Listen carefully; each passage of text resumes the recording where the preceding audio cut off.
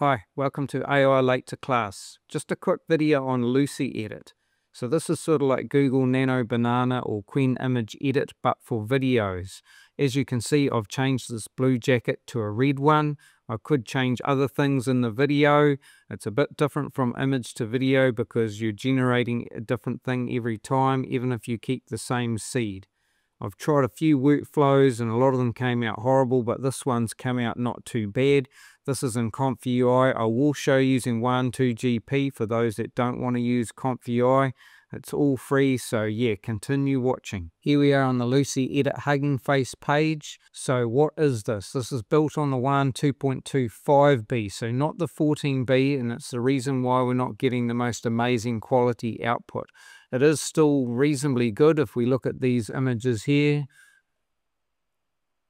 And here's the change to that. And another change.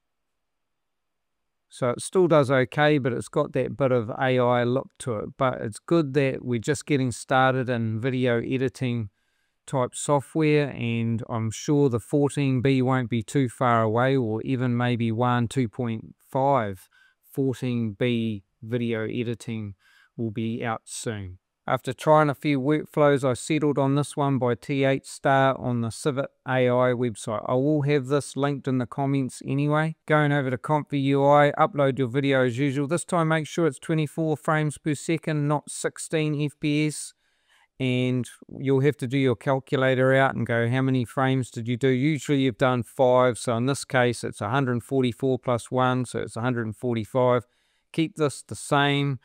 Coming over here, you need the WAN 2.2 VAE, not 2.1.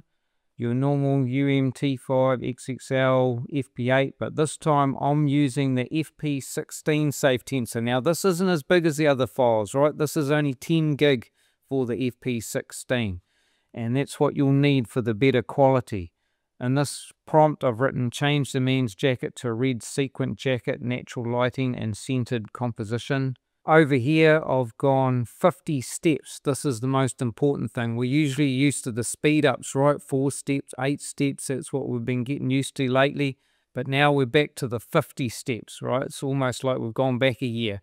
And CFG at five, but this is how you get the best result. I've seen a lot of videos with lower steps. It's not producing a good result. So you have to do it at 50, which takes a long time. But look at that output. It's not too bad. If your computer's good enough, you can get the 20 gig file. This is the one I used above, or if your computer's not so good, you can use the GGUF versions.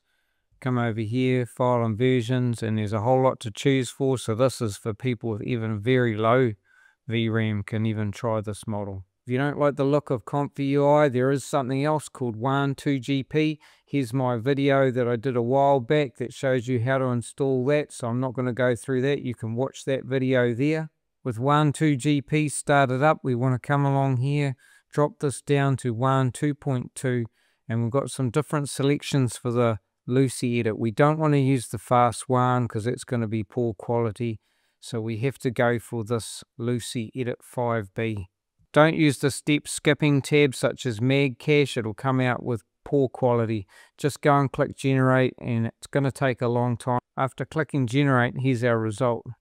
It's not too good. It's not as good as the ComfyUI one. It's a bit oversaturated. There's a connection you can see between the sliding windows, the two videos. There's a join in there. So I'm not happy with that. I do know that this model is only 5 gig. You can see the Comfy version is way better. Anyway, links are in the comments. Like and subscribe.